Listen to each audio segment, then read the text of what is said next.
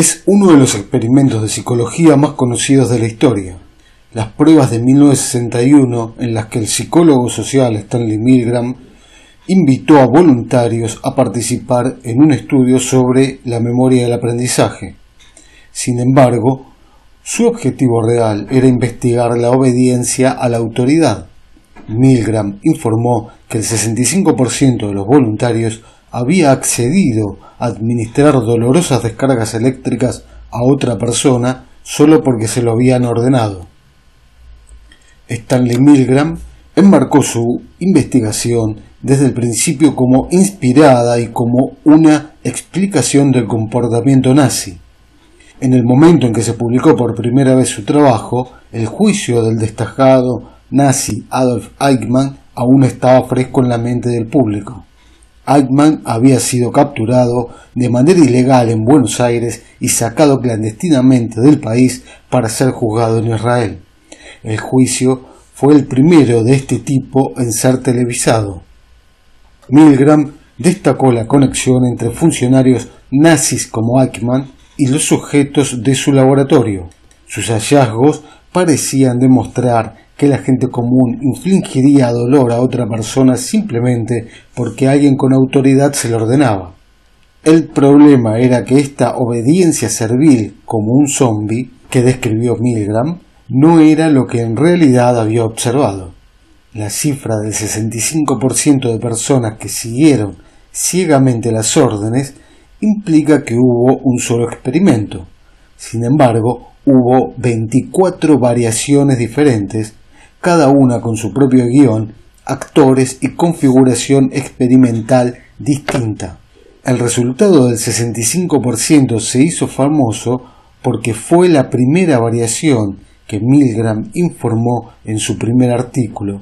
Sin embargo, pocos notaron que se trataba de un experimento que involucró solo a 40 sujetos. Los registros de toda la investigación realizada en la Universidad de Yale muestran que en más de la mitad de las 24 variaciones, el 60% de las personas desobedecieron las instrucciones de la autoridad y se negaron a continuar. También de los audios originales se desprende que los experimentadores se salían del guion e improvisaban varias formas de presionar a los sujetos. Esa obediencia servil que se asocia con los resultados de la investigación suena mucho más a intimidación y coerción cuando se escuchan estas grabaciones. Milgram desdeñó las acusaciones de que muchos de los sujetos experimentales habían descubierto el engaño.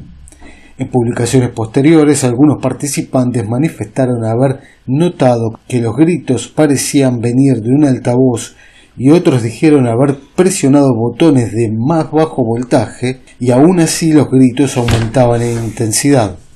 Pero este escepticismo de los sujetos, cuya creencia en la configuración experimental es fundamental para la validez, se ha minimizado constantemente en las discusiones sobre la relevancia y el significado de los resultados.